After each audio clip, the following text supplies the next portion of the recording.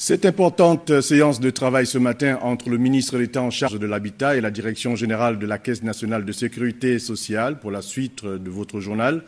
Les échanges ont essentiellement porté sur la problématique de la conservation foncière avec en toile de fond la planification des investissements dans ce domaine. Le reportage est de Charles Bamondo et Michel John Boudéa. La nuit TTC la COFET, le ministère de tutelle, les maires, les chefs de quartier, les particuliers. Trop d'acteurs qui interfèrent dans les procédures d'attribution des parcelles au Gabon. Un véritable cafarnaum qui freine considérablement la mise en œuvre des politiques initiées par le gouvernement en matière d'habitat.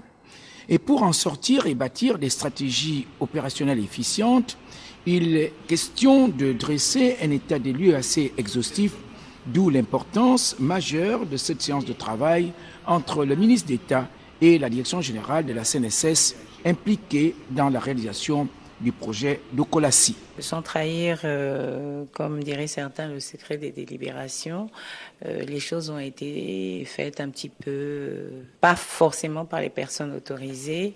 Et aujourd'hui, le ministère de, l'Habitat euh, forte de, toutes les observations qui ont été faites sur le terrain et en train de remettre les.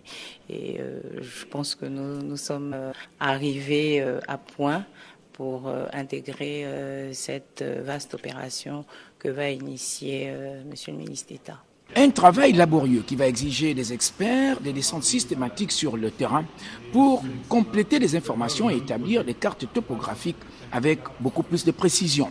C'est une euh, séance de travail qui a été euh, fort enrichissante et à partir de laquelle les équipes de la CNSS euh, et celles du ministère de l'Habitat vont travailler non seulement pour pouvoir satisfaire à la requête de la CNSS qui a des projets comme par le passé de logement pour l'ensemble des Gabonais et euh, participer à sa manière euh, à l'effort euh, de, logement de, nos compatriotes, mais aussi de revoir le fonctionnement et l'organisation, non seulement chez nous, mais il nous a partagé un certain nombre d'observations qu'il a faites ici euh, dans son département.